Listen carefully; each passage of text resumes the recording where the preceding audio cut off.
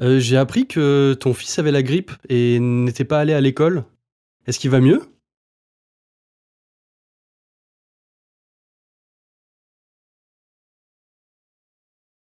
Euh, j'ai appris que ton fils avait la grippe et n'était pas allé à l'école. Est-ce qu'il va mieux?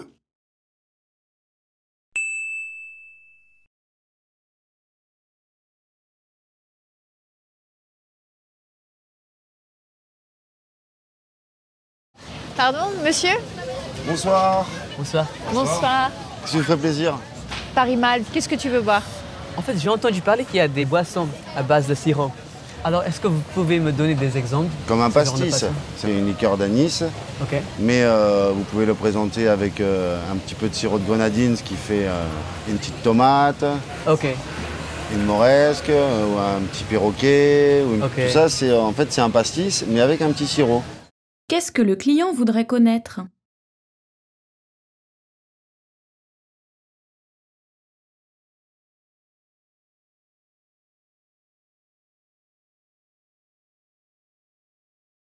Pardon, monsieur? Bonsoir. Bonsoir. Bonsoir. Je vous ferai plaisir? Paris Mal, qu'est-ce que tu veux boire? En fait, j'ai entendu parler qu'il y a des boissons à base de sirop. Alors, est-ce que vous pouvez me donner des exemples Comme un pastis. C'est une liqueur d'anis, Ok. mais euh, vous pouvez le présenter avec euh, un petit peu de sirop de grenadine, ce qui fait euh, une petite tomate, Ok. une moresque, euh, ou un petit perroquet. ou une- Ok. Tout ça, c'est en fait c'est un pastis, mais avec un petit sirop. Qu'est-ce que le client voudrait connaître?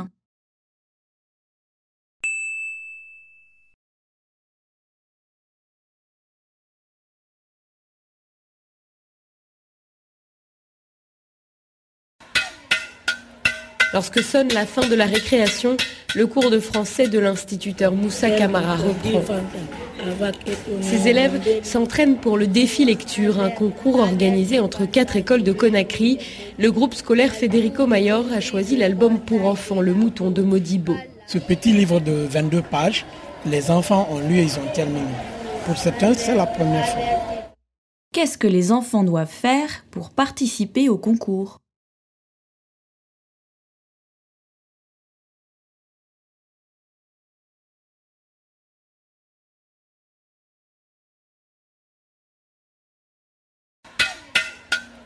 Lorsque sonne la fin de la récréation, le cours de français de l'instituteur Moussa Kamara reprend. Ses élèves s'entraînent pour le défi lecture, un concours organisé entre quatre écoles de Conakry. Le groupe scolaire Federico Mayor a choisi l'album pour enfants Le Mouton de Modibo. Ce petit livre de 22 pages, les enfants ont lu et ils ont terminé. Pour certains, c'est la première fois. Qu'est-ce que les enfants doivent faire pour participer au concours?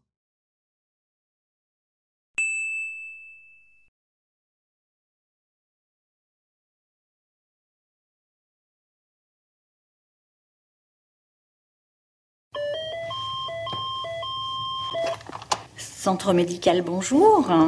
Danielle Bay est secrétaire dans un cabinet médical. Elle a trouvé cet emploi il y a trois ans.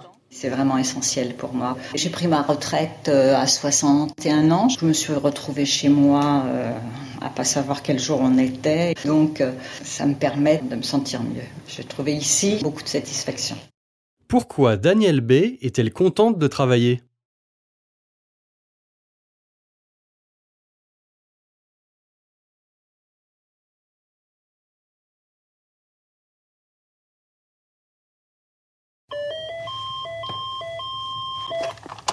Centre médical, bonjour. Danielle Bay est secrétaire dans un cabinet médical. Elle a trouvé cet emploi il y a trois ans. C'est vraiment essentiel pour moi. J'ai pris ma retraite euh, à 61 ans. Je me suis retrouvée chez moi euh, à pas savoir quel jour on était. Donc, euh, ça me permet de me sentir mieux. J'ai trouvé ici beaucoup de satisfaction. Pourquoi Danielle B est-elle contente de travailler?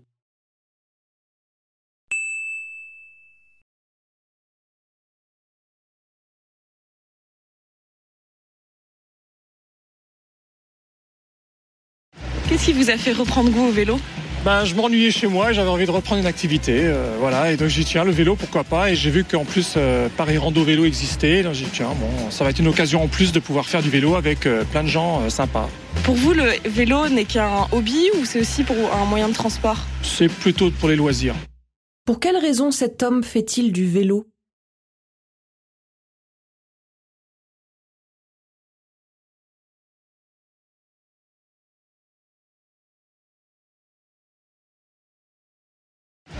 Vous a fait reprendre goût au vélo Ben, je m'ennuyais chez moi, j'avais envie de reprendre une activité, euh, voilà, et donc j'ai dit tiens le vélo pourquoi pas, et j'ai vu qu'en plus euh, Paris Rando Vélo existait, donc j'ai dit tiens. Bon ça va être une occasion en plus de pouvoir faire du vélo avec euh, plein de gens euh, sympas. Pour vous, le vélo n'est qu'un hobby ou c'est aussi pour un moyen de transport? C'est plutôt pour les loisirs. Pour quelle raison cet homme fait-il du vélo?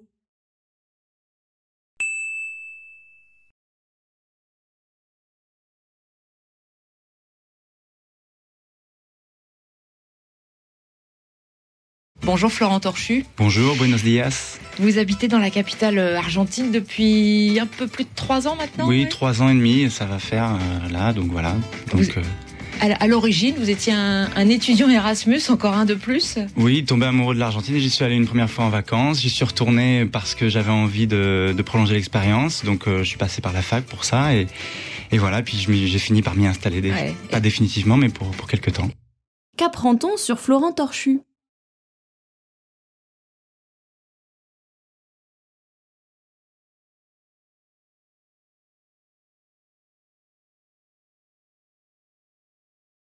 Bonjour Florent Torchu. Bonjour, buenos dias. Vous habitez dans la capitale euh, argentine depuis un peu plus de trois ans maintenant oui, trois ans et demi, ça va faire euh, là, donc voilà. Donc Vous- euh, À, l'origine, vous étiez un, un étudiant Erasmus, encore un de plus. Oui, tombé amoureux de l'Argentine, j'y suis allé une première fois en vacances. J'y suis retourné parce que j'avais envie de, de prolonger l'expérience, donc euh, je suis passé par la fac pour ça et, et voilà. Puis j'ai fini par m'y installer, Ouais. pas définitivement, mais pour pour quelques temps. Qu'apprend-on sur Florent Torchu?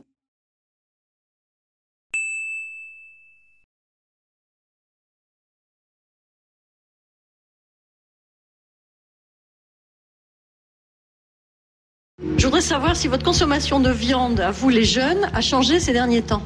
Depuis que je vis plus chez mes parents, euh, je vois vite que le budget grimpe quand j'achète de la viande.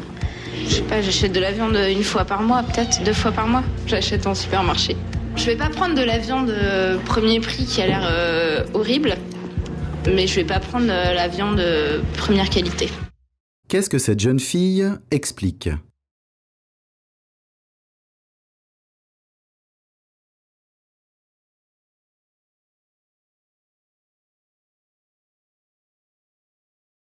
Je voudrais savoir si votre consommation de viande, à vous les jeunes, a changé ces derniers temps. Depuis que je vis plus chez mes parents, euh, je vois vite que le budget grimpe quand j'achète de la viande. Je sais pas, j'achète de la viande une fois par mois, peut-être deux fois par mois. J'achète en supermarché. Je vais pas prendre de la viande euh, premier prix qui a l'air euh, horrible, mais je vais pas prendre la viande première qualité. Qu'est-ce que cette jeune fille explique?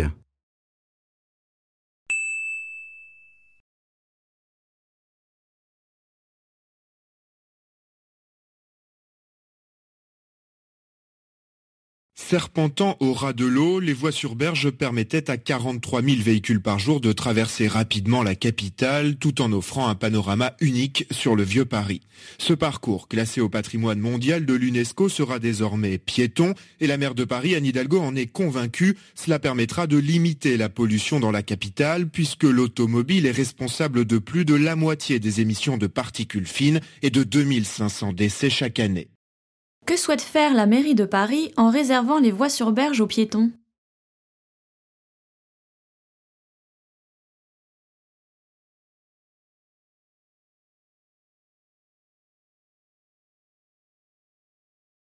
Serpentant au ras de l'eau, les voies sur berge permettaient à 43 000 véhicules par jour de traverser rapidement la capitale tout en offrant un panorama unique sur le vieux Paris.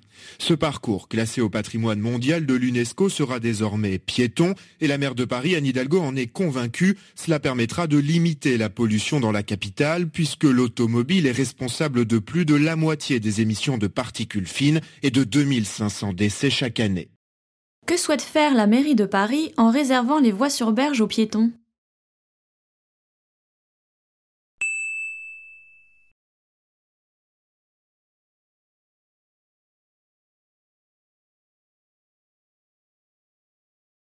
Et vous, Stéphane Martinez, c'est pas avec euh, six copines, c'est avec une bande de copains qu'un jour vous avez eu euh, une idée. En fait, vous, vous êtes euh, restaurateur, vous tenez avec votre frère le bistrot Le Petit Choiseul dans le centre de Paris. Et vous avez créé Moulineau. C'est une entreprise qui valorise les déchets de la restauration parce que chacun, pareil, a son rôle à jouer. Exactement. Alors, on est spécialisé dans la valorisation de ces restes alimentaires. Et en fait, ça m'est venu naturellement. Alors, quand vous parliez de ça s'est passé autour d'une table, on refait aussi le monde autour d'une table hein, et dans un bistrot. C'est vrai qu'il y a une dizaine d'années, euh, quand j'ai observé ma poubelle, euh, je me suis rendu compte qu'il y avait beaucoup de matière organique à l'intérieur. Quelle est la spécificité de l'entreprise de Stéphane?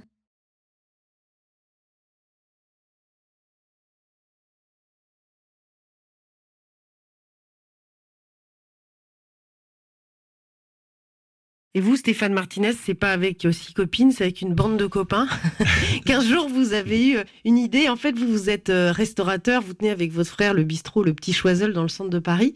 Et vous avez créé Moulineau. C'est une entreprise qui valorise les déchets de la restauration parce que chacun, pareil, a son rôle à jouer. Exactement. Alors, on est spécialisé dans la valorisation de ces restes alimentaires. Et en fait, ça m'est venu naturellement. Alors, quand vous parliez de ça s'est passé autour d'une table, on refait aussi le monde autour d'une table hein, et dans un bistrot. C'est vrai qu'il y a une dizaine d'années, euh, quand j'ai observé ma poubelle, euh, je me suis rendu compte qu'il y avait beaucoup de matière organique à l'intérieur. Quelle est la spécificité de l'entreprise de Stéphane?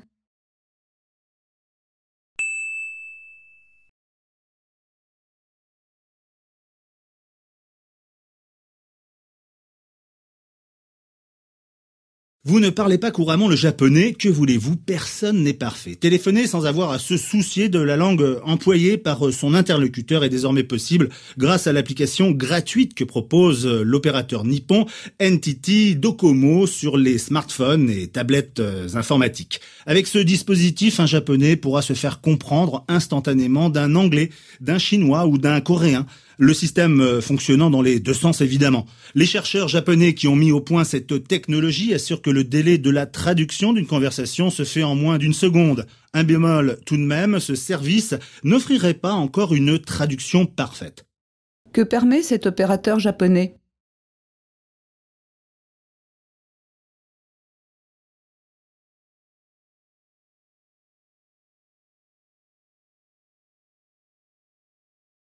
Vous ne parlez pas couramment le japonais, que voulez-vous? Personne n'est parfait. Téléphoner sans avoir à se soucier de la langue employée par son interlocuteur est désormais possible grâce à l'application gratuite que propose l'opérateur nippon NTT Docomo sur les smartphones et tablettes informatiques. Avec ce dispositif, un japonais pourra se faire comprendre instantanément d'un anglais, d'un chinois ou d'un coréen le système euh, fonctionnant dans les deux sens évidemment. Les chercheurs japonais qui ont mis au point cette technologie assurent que le délai de la traduction d'une conversation se fait en moins d'une seconde. Un bémol tout de même, ce service n'offrirait pas encore une traduction parfaite. Que permet cet opérateur japonais?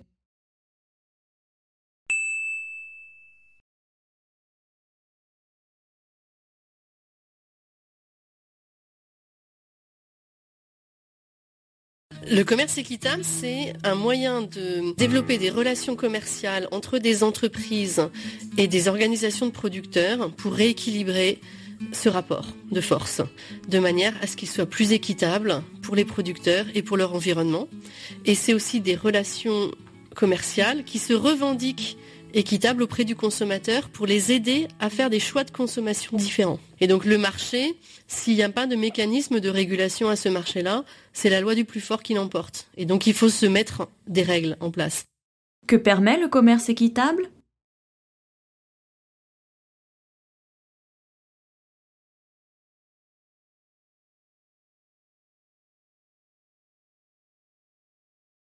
Le commerce équitable, c'est un moyen de développer des relations commerciales entre des entreprises et des organisations de producteurs pour rééquilibrer ce rapport de force, de manière à ce qu'il soit plus équitable pour les producteurs et pour leur environnement.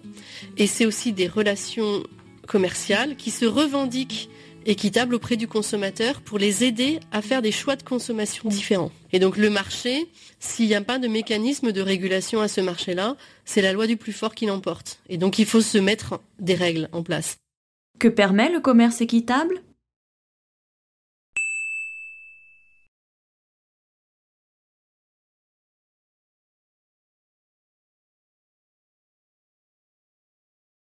Mais vous, Serge, par exemple, bon, votre passion, la photo, euh, vous n'en vivez pas, euh, vous vivez surtout de votre travail d'agent de sécurité, donc vous êtes adapté aux réalités du monde du travail quelque part. C'est Oui, oui. Après, nous, on a, venant des beaux-arts, on a beaucoup de chance aussi parce qu'on a beaucoup de médiums, on a beaucoup de matériaux qu'on sait travailler. Et puis, on sait aussi que quand on arrive aux beaux-arts que, voilà, il y a peu de chances qu'on vive de son travail. On n'est pas tous des Picasso, on, est bien- Mhm. on en est bien conscient. Donc vous savez que de toute de toute façon- façon, que la réalité de terrain après, Mhm. elle sera un peu difficile et que, ben, il va falloir faire des choix et faire Mhm. des concessions. Pourquoi cet homme travaille-t-il dans un domaine différent de celui de sa formation initiale?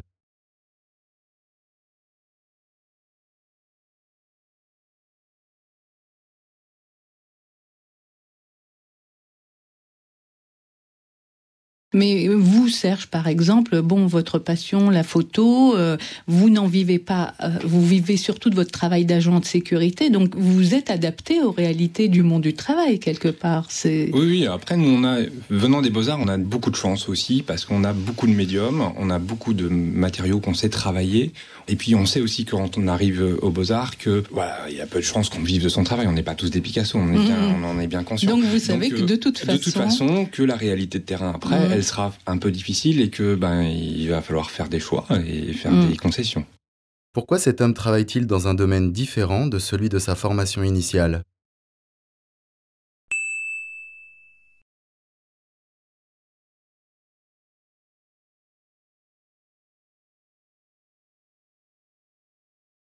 C'est vrai que c'est une profession, cette profession financière qui a été euh, inventée aux États-Unis, dont euh, les termes originels sont des termes anglais et dont les termes en français, en allemand, en russe, en chinois sont des traductions récentes qui ne sont pas encore complètement rentrées dans les mœurs. Est-ce qu'on y travaille justement à cette francisation euh, de toute la terminologie importée des États-Unis et des pays anglo-saxons? Oui, c'est quelque chose qui va progresser, mais nous ne sommes pas tout à fait une profession euh, qui serait née au XVIIIe siècle, vous voyez. Et Nous sommes une profession qui est née il y a deux décennies, qui est vraiment née aux États-Unis et en Grande-Bretagne. Et je crois que c'est ça qui fait que la langue française est encore jeune dans ce canton-là de la finance. Que constate l'intervenant sur l'emploi du français dans le domaine de la finance?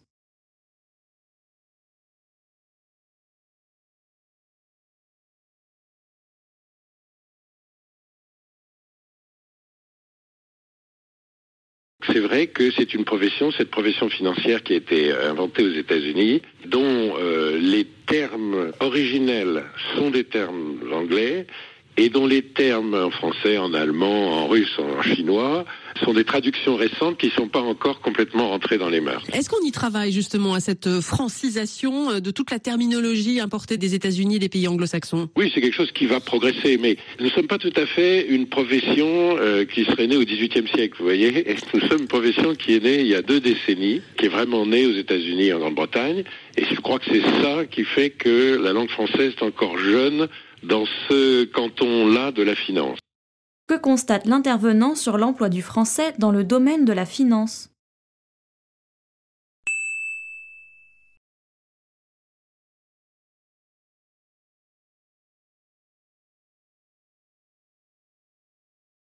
Donc euh, le touriste, c'est l'homme du circuit, mais c'est du circuit avec de l'envie, de l'envie de découvrir, de l'envie du monde, donc l'envie de voir le monde, en principe. Donc, et c'est cette curiosité-là qui pose sans doute beaucoup de problèmes euh, parce que elle n'est pas parfois euh, forcément satisfaite d'une part, mais aussi contrôlée d'autre part. C'est-à-dire que souvent la frontière est mince entre la curiosité et l'indiscrétion, la découverte et la violation.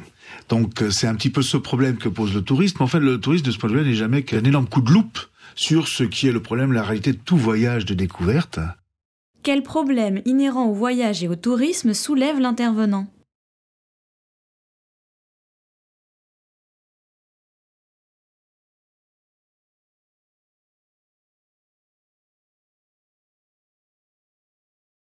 Donc euh, le touriste, c'est l'homme du circuit, mais c'est du circuit avec de l'envie, de l'envie de découvrir, de l'envie du monde, donc l'envie de voir le monde, en principe. Donc, et c'est cette curiosité-là qui pose sans doute beaucoup de problèmes euh, parce que elle n'est pas parfois euh, forcément satisfaite d'une part, mais aussi contrôlée d'autre part. C'est-à-dire que souvent la frontière est mince entre la curiosité et l'indiscrétion, la découverte et la violation.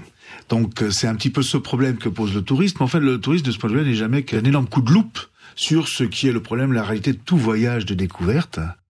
Quel problème inhérent au voyage et au tourisme soulève l'intervenant?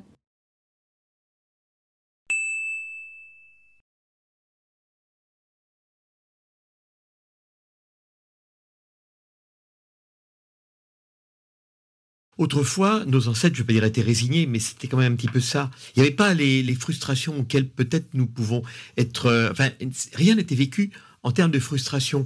La personne qui voulait euh, quelque chose qui n'avait pas le- les moyens de s'acheter, ben, rêvait devant, devant la vitrine et savait que bon, les riches pouvaient, puis elle ne pouvait pas. Aujourd'hui, la question ne se pose pas de la même façon. Aujourd'hui, on est devant son écran, sur un site d'achat en ligne, tout le monde peut cliquer et acheter. Euh, même celui qui n'a pas les moyens de payer. D'après l'intervenant, quelle attitude avaient les anciens face aux tentations de consommation?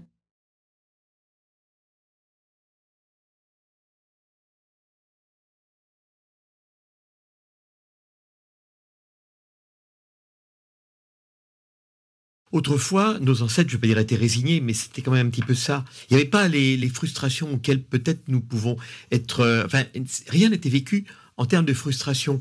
La personne qui voulait euh, quelque chose qui n'avait pas le- les moyens de s'acheter, ben, rêvait devant, devant la vitrine et savait que bon, les riches pouvaient, puis elle ne pouvait pas.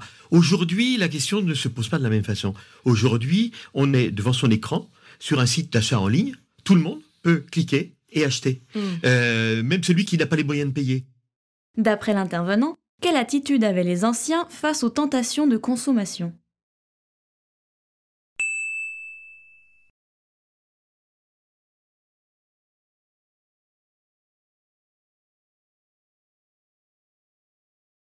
Le concept de grande école est une bizarrerie française. Est-ce que vous pouvez nous réexpliquer ce que c'est qu'une grande école française?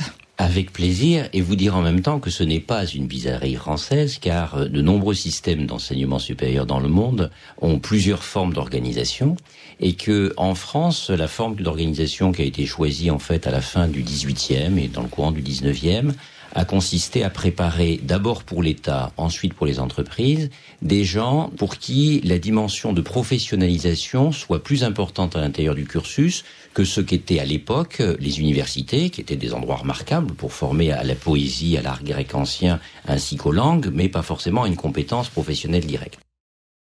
À l'origine, que cherchaient à privilégier les grandes écoles?